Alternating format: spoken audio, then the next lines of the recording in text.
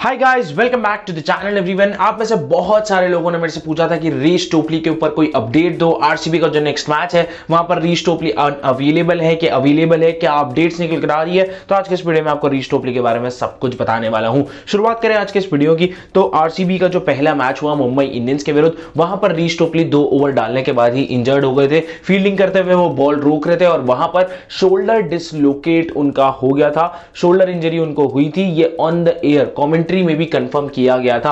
हालाँकि मतलब वो शोल्डर अभी ठीक है, लेकिन स्टिल इंजरी के इश्यूज़ है और जो आगे आने वाला मैच है के के आर वाला आर सी बी वर्सेज के के आर वहाँ पर रीस टोपली अनअवेलेबल है। ये 101 परसेंट कंफर्म्ड है, क्योंकि आर सी बी की टीम यहाँ पर कोलकाता ट्रैवल कर चुकी है और मैच अब से कुछ दो तीन घंटे में ही है और रीस टोपली अभी तक कोलकाता ऑब्वियसली नहीं गए हैं। वो बेंगलोर में ही है। रिहेबिटेशन का जो उनका प्रोसेस है, वो बेंगलोर में ही होने वाला है। तो रीस टोपली यहाँ पर ट्रैवल नहीं करे हैं और वो अनअवेलेबल है के के आर वाले मैच के लिए। हालाँकि मतलब अब प्लेइंग इलेवन में रीस टोपली जगह आपको डेविड विली देखने को मिल जाएँगे। डेविड विली ये मैच तो खेलने वाले हैं। रीस टोपली की जगह जॉश हेजलवुड अभी तक अनअवेलेबल है। हेजलवुड कुछ थर्टीन अप्रैल तक आ जाएँगे उसके ऊपर अलग से वीडियो बना दूँगा।